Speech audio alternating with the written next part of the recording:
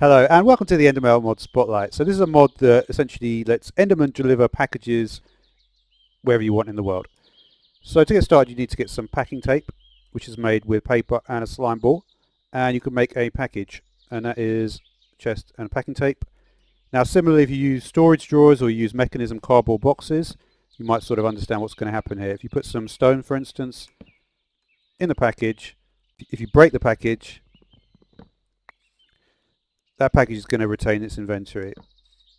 So that is one kind of pretty cool feature of the mod. The main feature though is this. So we're going to put a stamp and we're going to go to say 995971 I think something like that. So we're going to press confirm. And now that package is confirmed to be sent to a new location which is right through that portal. So to actually send it there you're going to need to get the package controller.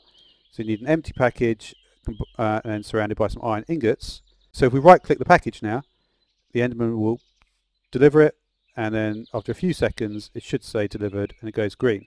It'll say it's delivered to 995.63.971. So if we go through this portal we should be able to see it.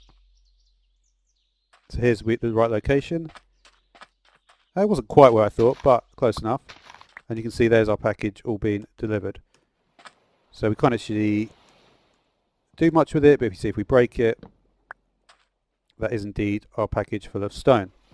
Now there's actually an alternative way to do it, so let's try that. So we've got this thing called a locker, right?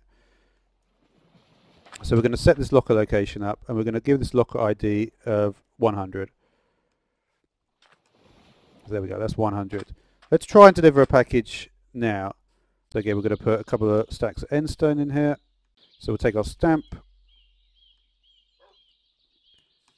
and we're going to go for a lock ID of 100 and we'll send it away.